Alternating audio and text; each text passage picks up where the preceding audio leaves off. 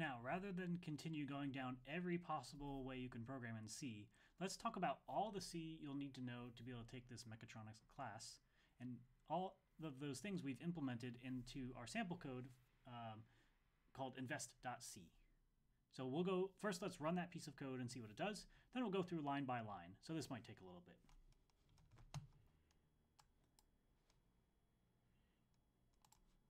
So the first thing I could do is I can uh, compile uh, this piece of code. It's all ready to go. So I'll do uh, gcc invest.c, uh, generate the output, and I'll call it invest. Now let me run invest. And it prints to the screen, says enter an investment, a growth rate, and a number of years. So this is a program that says, give me an initial amount of money and uh, a percent at which it will grow, and tell me how long to forward calculate how much money you'll have. So let me say I have $1 invested that grows at 1% for five years. So the first thing that happens is it says, is that a valid input? Did I type in uh, a valid investment, a growth rate, and a number of years? Uh, so apparently I did because it says yes. Then it prints the results. At year zero, I started with a dollar, and by year five, I have a dollar and five cents. Okay, that's interesting. Let's try again. I'll start with $100 and I'll grow at 25% uh, for 10 years. So this would be a really great investment if you could find somebody who would uh, give you 25% interest because after 10 years you would have $931.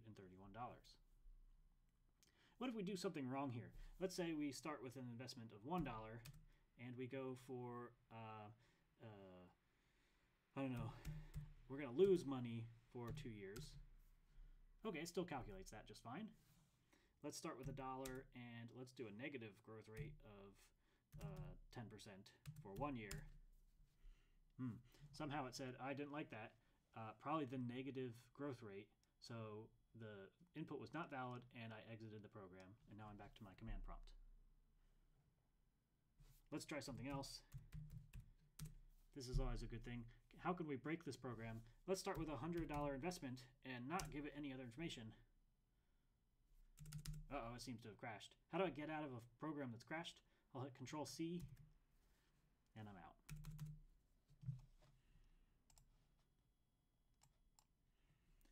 So let's take a look at this uh, sample code and go through line by line and figure out what a program is made of and what are maybe the most complicated aspects of this C programming.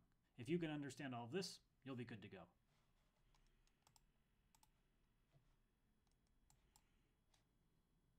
So I've opened up the code in uh, Visual Studio Code. This is just a fancy text editor. The nice thing is that it can uh, identify certain kinds of C syntax and color code for us. So I'm going to start at the top and just go to the bottom. Make it a little bigger.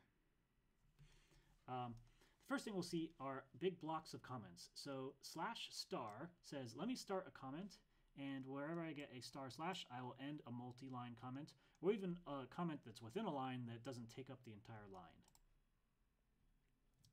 Um, so sometimes, and this is a style thing, you'll see lots of stars in a row. Uh, those stars aren't doing anything. The only thing that mattered was the first slash star and the end star slash. These kind of things just break up your code to make it maybe a little more readable. It's common to put um, you know some information at the top of your code so you remember what is this code, who wrote it, when was the last time you edited it. Here's another way to do that. Um, sometimes this will be put in here automatically by your IDE or your text editor. Um, but again, the block comment, the only thing important is this slash star star slash. Okay, we've talked about the preprocessor step in the compilation process.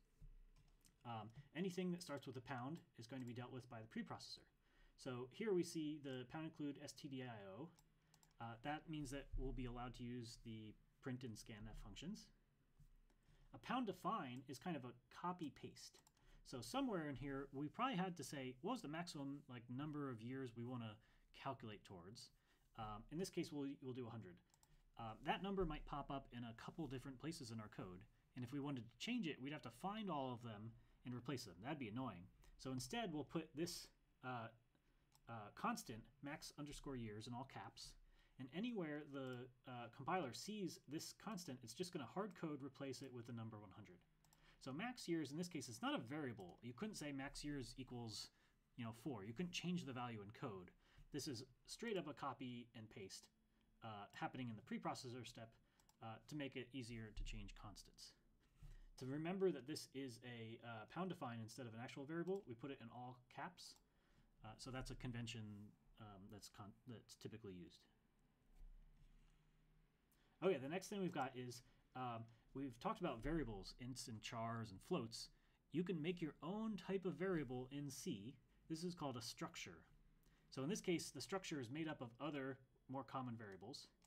And what we're going to do is because we're iterating in this program and we're saying, let's take um, this amount of money in a number of years and let's store all that information together because they're related. Um, so we're going to start with a double of our initial investment. That's one of the things we were asked for when it said, you know, type in our initial investment, the growth rate, and the number of years. Those will all be stored together in the structure, as well as an array that stores um, all of the data as it's propagated forward. So if this was 10 years, we would use the first 10 elements of this array. And this is where the max years comes in, because we have to predefine the sizes of our arrays. Um, so we had to say at least 101 years. We're going to bundle all of these numbers together and call it this new type of variable. Uh, the, the data type is now investment. Okay, it's kind of bad form to use global variables in C, you know, code on your computer, uh, but global variables will come up a lot more on the microcontroller. So in this program, we won't see any global variables, but they would be declared up here at the top. So we could say int i up here or whatever. Uh, in this case, there are none.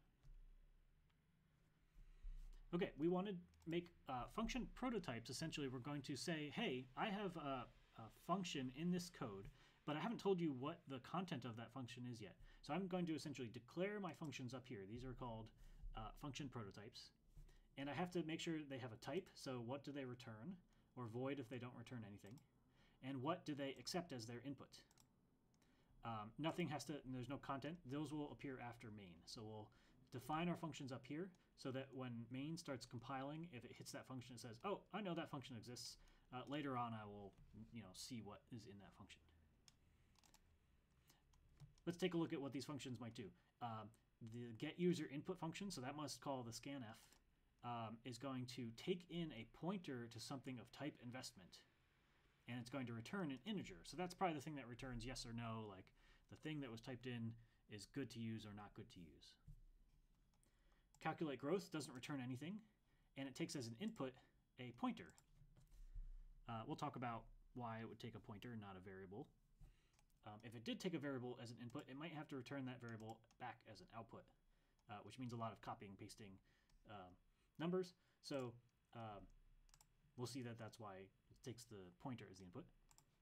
And then the last function, send output, uh, instead of taking the entire investment, it's only going to take a pointer um, to uh, a double. So that's probably actually taking an, ar an array of doubles as an input and then the number of years. So it says um, this uh, person only requested to see 10 years worth of data, so I will send a pointer to the first element of the array and the number of uh, elements after that that I want to print. Okay, so now we get into main, and what we can see here is that, wow, main is really, really short. Most of the content of this program is probably happening inside of the functions. And that leads to what we call modularity. You would like your code to be very readable um, and if this was to be even more readable, we'd probably take these helper functions and we'd put them into a separate C file. Because it'd be nice if our program was made of files that only took one screen and I didn't have to scroll. So instead I would have tabs and I could go through. Uh, but we didn't get that modular with this code just yet. That'll actually be a homework assignment. So let's take a look at main. Um, main starts, we create uh, a variable called inv of type investment. So that's the bundled uh, groups of several different kinds of variables. And then we're going to call the function get user input, and we're going to send it a pointer to this variable. So this variable initially has not been uh, given some initial values. So we're going to send the pointer to that variable to this function and let this function put values into this variable which exists in main. We're also going to send back was the uh, data that was input correct or not. So if it was true, while true says go in here and do the stuff and then do it again until eventually you get user input that is bad, a zero would break you out and you'd hit the return zero and the program would end. Okay, so at this point, um, we have uh, asked the, the, the, user for input, and let's assume that it's good. So there's now data inside of um, our structure. So the variable is called inv, and inside of inv is a double called inv0. So if you have the variable inv, how do you know what the value of inv0 is inside of inv? You can use the dot parameter. So inv dot inv0 says what is the value of this variable inv0, which is inside of the structure inv. So this says uh, make the first element of the value uh, inv array equal to this value that we got from the user inv0. So we've kind of had this blank array inside of inv, and we've seeded the first value inside of it as the number the user gave us. Now we're going to take the entire uh, uh, the, the pointer to this um, variable. We're going to send that to this function calculate growth so that calculate growth has access to all of the parameters inside of inv. And it's going to go through and, and go through the next couple of values of inv array and calculate what their values are. It doesn't have to return anything because when you send the pointer to a function, when that function operates on that pointer, it's operating on inv inside of main itself. So we didn't have to take all the values of inv and send them to this function and then have this function send them all back again. Um, we can have uh, the calculate growth function use this variable whose memory has been allocated in main and it can operate directly on it. So that saves us a lot of time so we don't have to copy values into the function and copy them back out again. Okay, the next step will be to uh, print to the screen. And instead of, again, sending either the pointer or all of the values of inv, uh, we can just send the uh, pointer to the array that's inside of inv and the number of years that we want to print out. So let's take a look at how these functions work because that's the meat of the program. The first one that happens is get user inv, uh, uh, input. So I'm going to skip down to get user input. Here's get user input. It takes the input of the pointer to the investment variable that exists in main. So we're going to uh, remember that this is a pointer by saying inv p instead of inv. We have this integer valid, which will eventually um, return back to uh, the while loop that says, yes, the number I, the, the information I got from the user is valid or it's not. So that's what we're going to return in the end, return valid.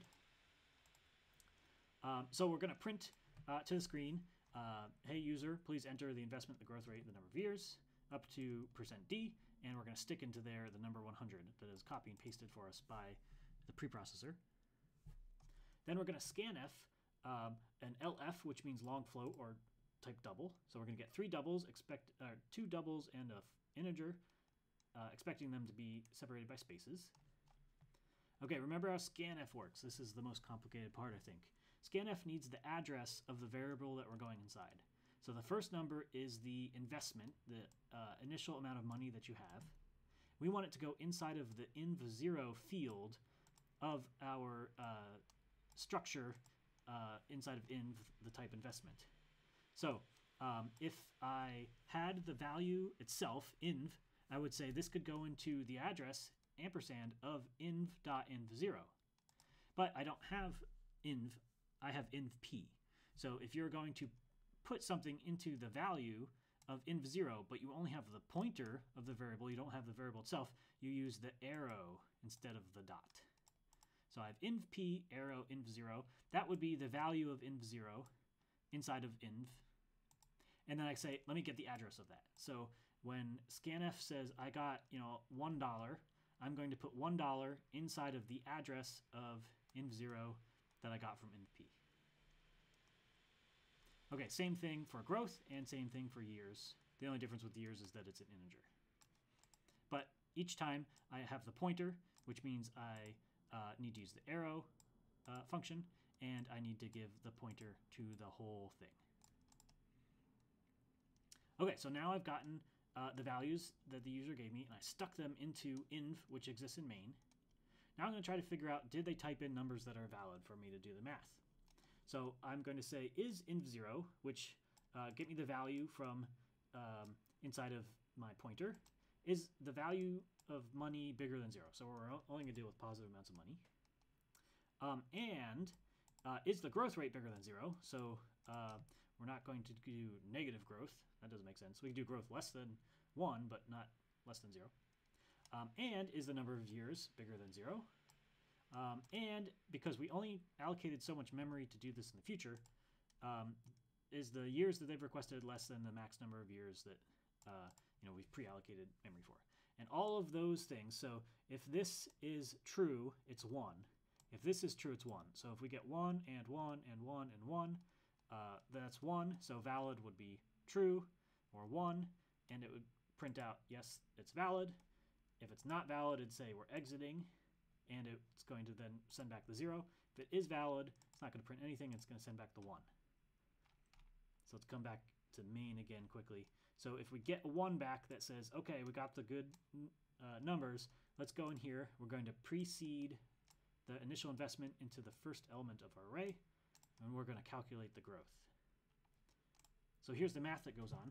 Taking in the pointer, uh, we have an i that we're going to iterate over. So we're going to start at uh, 1 because we already have that initial investment. That's like at time 0. So at time 1 to time um, the number of years that they wanted to know how far in advance would their money be worth. We're going to go one year at a time.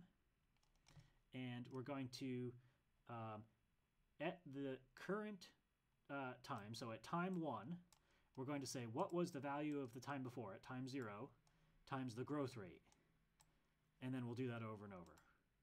And because we have the pointer, we have to use the arrow to be able to get the value outside of our structure. So that's pretty simple math. Okay, now that we've iterated that array inside of um, our structure is full up to the number of years that they asked us to calculate. So now we're going to send that array and those number of years to the send output function. So it takes in a pointer to the array uh, and the number of years. Okay, here we're going to use uh, sprintf instead of printf. And this is something we'll do a lot with the microcontroller because the microcontroller doesn't have a screen. So in this case, it's running on the computer. It wasn't necessary to use sprintf. Um, we would do uh, just straight up printf. But let's take a look at how sprintf works. Uh, we'll have a character array of what are the characters we would like to print to the string. And rather than uh, print to the screen. Instead of printing to the screen, let's put them into this character array, and then we'll just printf the character array when we're done. Okay, so we're going to print uh, results with two uh, new lines afterwards. And from 0 to the number of years, we're just going to print uh, what was that year and how much uh, money is in that array. And we'll do that for each year. So sprintf it into this character array outstring, and then we'll printf outstring and after we've printed the number of years required, uh, we print another new line. And we come back to main and we get the user input again. And as long as the get user input keeps returning true, we'll keep printing until eventually they uh, mistype or enter a negative number, um, and then we get booted out.